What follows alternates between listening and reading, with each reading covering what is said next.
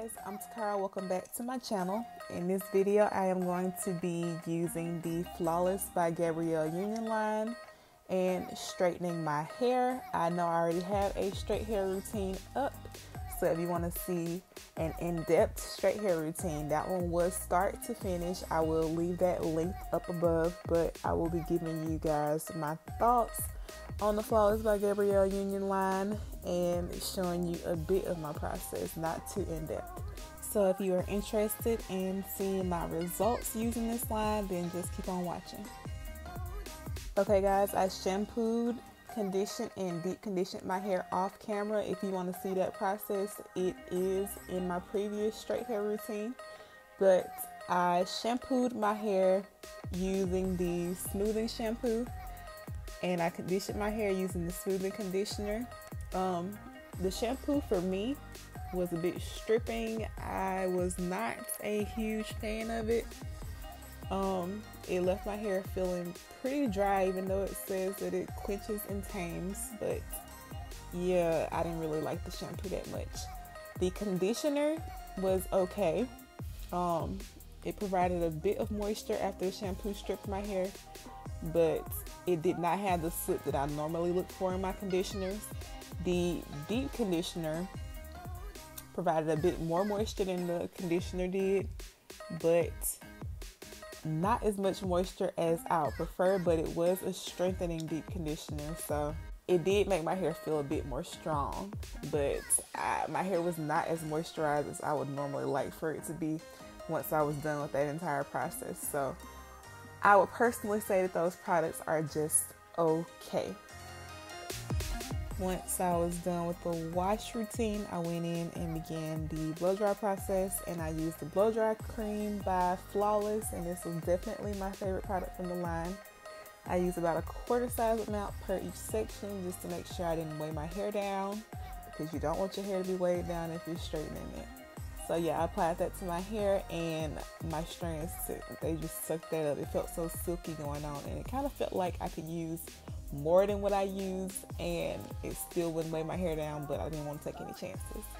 So after I used the blow dry cream, I went in with the GVP brand Kenra blow dry spray.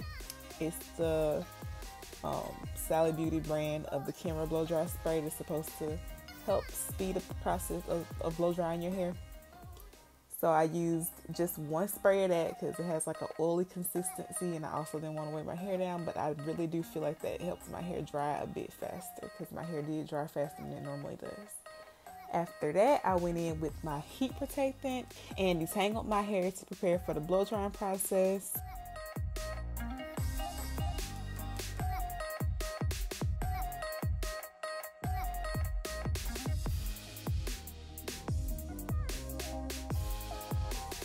And I'm to be using my Silverbird blow dryer on medium heat and high airflow. I was being lazy and tried to do the entire section at once. Don't be like me, guys. I knew better than that.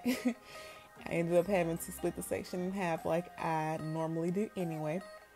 But yeah, I'll just split the section in half and blow dry each half of the section as you can see.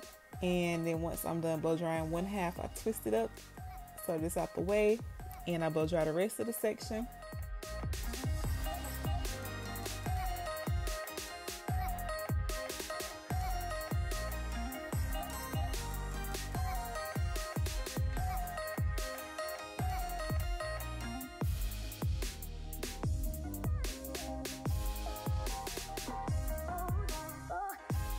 And once both sections are dry, I combine the two sections and go over them again to ensure that it's dry. You do not want a flat iron hair that is still damp.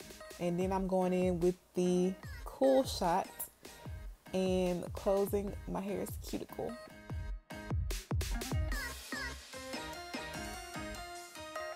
And I'm just going to braid the section up to keep it stretched while I do the rest of my hair.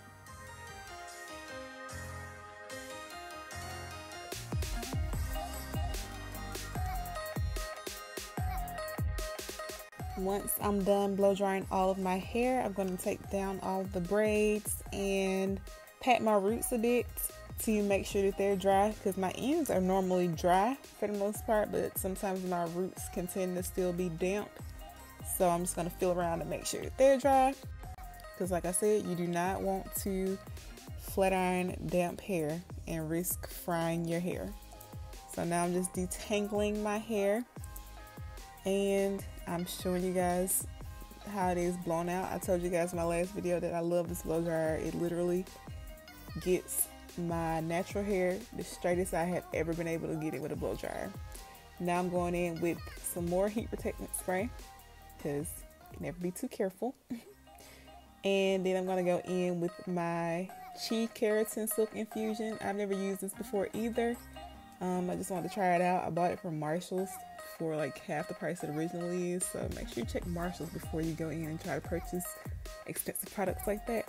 And yeah, you saw I tried to pour it and it was still closed. I'm slow. but yeah, I'm taking about a dime size amount and applying it to each half of my hair. I didn't want to use too much because I didn't want to weigh my hair down, but I feel like I could have used a little bit more. So next time I think I'll try to use a bit more than that. And yeah, so I'm just doing it to both sides of my head.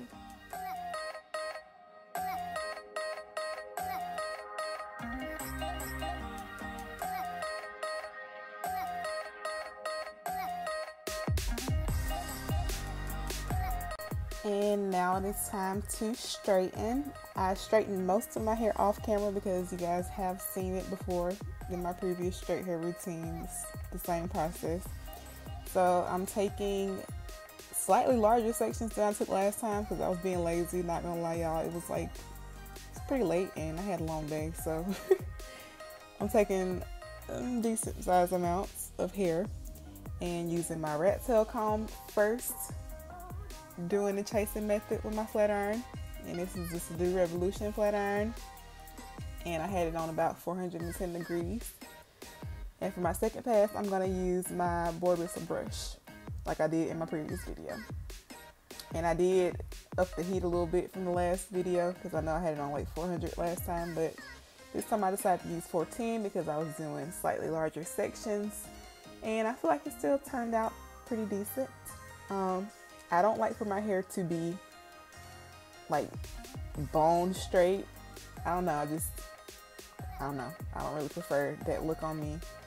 So, um, I like a more fluffy, straight hair look. So I am going to go in and bump my ends a bit like I did in my previous video as well. And like I said previously, I feel like using the rat tail comb and the boar bristle brush to straighten my hair helps me get um, the best results. And the next thing I'm doing is just trying to get my edges as straight as possible. Kind of hard to get close to them, but I'm doing my best. and here is my hair straight. Um, it is about time for a trim, so don't mind my ends. And now I'm just going in and bumping it like I told you guys I would because I prefer my hair to have some type of bump to it. I don't like just straight hair, on me at least.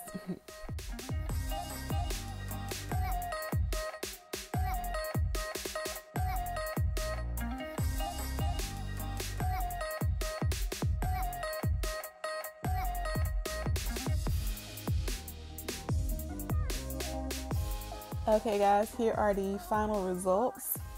My final thoughts on the Flawless line. I will be using the rest of the products because I purchased them and I want to get my money's worth. They were not horrible because I did like the outcome of my hair, even though I wasn't a huge fan of the shampoo, conditioning, and deep conditioning. I did like my end results. So I'm going to use the rest of them, but I don't think I will be repurchasing those three products. I didn't see myself repurchasing the blow dry cream. Like I told you guys, it was my favorite product. It left my hair silky and shiny even after blowing it out and it was a bit more sleek than it normally is with just the blowout. So yeah, that's it guys. Thank you guys for watching. Don't forget to give this video a thumbs up and subscribe to my channel and I'll see you guys in my next one. Bye.